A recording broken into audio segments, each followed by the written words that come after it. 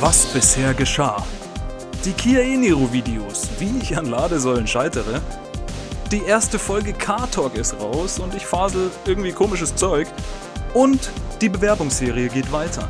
War die Lufthansa-Folge etwa zu makaber? Macht euch doch einfach euer eigenes Bild und schaut bei den letzten Videos vorbei. Danke fürs Abonnieren und Liken. Falls ihr Anregungen zu besprochenen Themen habt, lasst es mich in den Kommentaren wissen. Tesla erzielte als einziger Automobilkonzern von April bis Juni 2020 mehr Gewinne als im Vorjahr.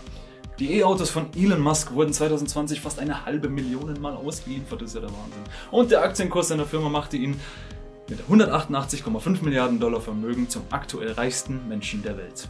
Tesla, ein Automobilkonzern, des Öfteren in der Kritik wegen Qualitätsmängeln, herabfallenden Komponenten und so weiter. Dessen Anleger und Käufer können solche Meldungen offensichtlich verschmerzen, sonst hätte Tesla auch nicht solche Zahlen geschrieben. Hierzu sei gesagt, Tesla ist im Vergleich noch ein sehr junger Automobilkonzern. Ich finde fast, dass einige Rückschläge deswegen in gewissen Bereichen vollkommen vertretbar sind. Hat doch Tesla mehr oder weniger die E-Mobilität auch ins Rollen gebracht. Naja, bis auf herabfallende Lenkräder zum Beispiel, die finde ich jetzt nicht so vertretbar. Wir bleiben noch kurz bei Tesla. Der Ausbau der Ladeinfrastruktur kommt möglicherweise nicht mit der wachsenden Ausbreitung von Elektroautos hinterher. Aber Fahrer eines Teslas dürften beruhigt sein, denn für 2021 sind allein in Deutschland 40 neue Standorte geplant. Auch in Großstädten soll vermehrt gebaut werden. Hierfür schalten wir nun zu unserem Außenkorrespondenten Alex. Ja, hi Alex. Wir befinden uns hier in München, genauer gesagt in den Asinger Garten. Und wie wir hinter uns sehen können, sind hier schon die neuen Tesla Supercharger installiert. Und zwar die neue Generation mit nur mehr einem CCS-Anschluss. Genau solche Supercharger sollen auch zukünftig in Großstädten wie Hamburg, Düsseldorf und Köln kommen. Und ich denke, das sollte doch eine große Erleichterung sein für viele Tesla-Fahrer. Sag mal, Alex, sind das da Müllreste der Supercharger da hinter dir? Äh, ja, Alex. Ein E-Auto-YouTuber hat versucht, selbigen Tesla-Müll zu klauen, jedoch ohne Erfolg. Danke an Alex für seinen Bericht. Teslas sind ja unter anderem bekannt für deren riesige Bildschirme in der Mittelkonsole oder in der, na, ihr wisst, was ich meine. Und Daimler setzt noch einen drauf. Es kommt nämlich der M-Bucks Hyperscreen und der soll in alle zukünftigen EV-Autos von Mercedes rein. Ich finde dieses Cockpit-Konzept sieht wirklich cool aus und auch sehr futuristisch. Etwas ähnliches hat man zuletzt beim Byton M-Byte gesehen, der seinen Screen aber wohl nicht in Serie bekommt. Der Hyperscreen besteht aus drei Bildschirmen unter einer Glasplatte, durch die sie diesen einheitlichen, übergangslosen Look bekommt. So bekommt auch der Beifahrer einen eigenen Bereich, ähnlich wie im Porsche Taycan. Die zwei runden Akzentelemente sind zugleich Lüftungsdüsen. Wie gesagt, gefällt mir an sich sehr gut. Es fiebern auch einige der Weltpremiere des neuen EQS im April entgegen, der den Hyperscreen dann auch schon bekommen soll. Damit haben Käufer des neuen EQS mit Abstand den größten Bildschirm. Mercedes-Benz konnte außerdem seine Verkäufe von E-Autos und Plug-in-Hybriden verdreifachen. Weltweit wurden über 160.000 teil- und vollelektrifizierte Fahrzeuge an den Mann oder die Frau gebracht. Das entspricht einem Plus von 228% zum Vorjahr. Tolle Nachrichten für Mercedes, wenn man sich noch an das Fiasko mit dem EQC erinnern kann.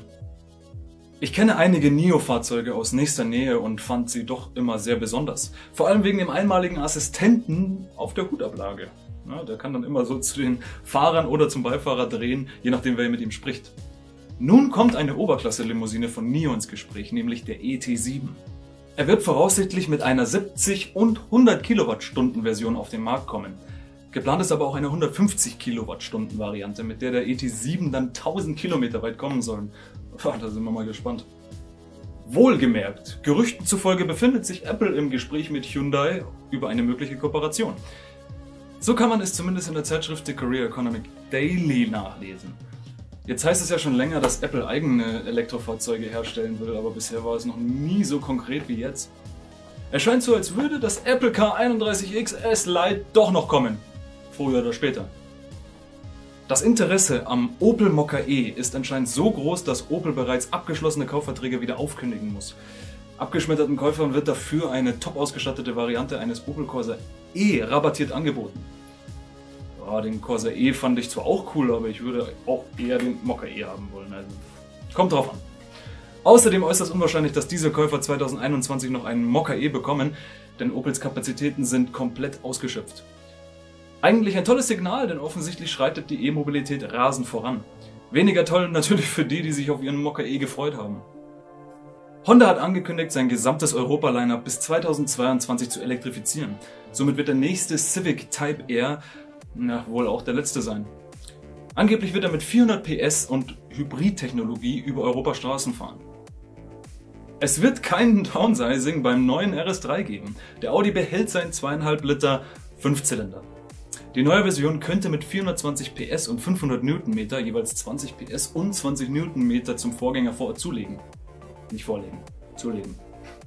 Außerdem wird spekuliert, ob der RS3 das Allradsystem vom Golf R bekommt. Das bleibt wohl abzuwarten. Vorstellung des neuen RS3 wird wohl erst im Herbst diesen Jahres sein. Anders als bei Audi wird der nächste C63 AMG von einem Vierzylinder angetrieben, allerdings unterstützt von E-Turboladern und Elektrifizierung. Äh, mal schauen, wie das aussieht. Denn auch Mercedes plant eine vollständige Elektrifizierung seiner Flotte. Um an die Leistung voriger C-AMG-Modelle heranzukommen, müsste aber eine E-Motor-Variante mit mindestens 100 Kilowatt inklusive entsprechender Batterie eingebaut werden oder eingesetzt werden. Was bedeutet, der nächste C63 könnte ein Plug-in-Hybrid werden? Was wir allgemein bisher gemerkt haben, es wird offensichtlich nichts um die Elektromobilität herumführen. Auch nicht in naher Zukunft. Entgegen skeptischer Aussagen wie zum Beispiel, ach, die E-Autos, die werden sich eh nie durchsetzen. ja, das werden wir dann sehen, wenn du nächstes Jahr in deinem C63S Plug-in-Hybriden sitzt und leise um die Häuser ziehst. Also, naja. Ein kurzes Wort. Mein guter Freund und Besitzer des Kanals Carmaniac hat Nachwuchs bekommen. Also hier nochmal meine Glückwünsche, als ob ich dich nicht schon genug nerve. Und auf dass ihr bald zu viert die nächste Allego-Ladesäule verprügeln könnt. Das war's auf jeden Fall mit der heutigen Folge Car Talk. Schreibt mir doch in die Kommentare, wie ihr darüber denkt oder was ihr von den anderen Themen haltet. Danke fürs Zuschauen und bis zum nächsten Mal.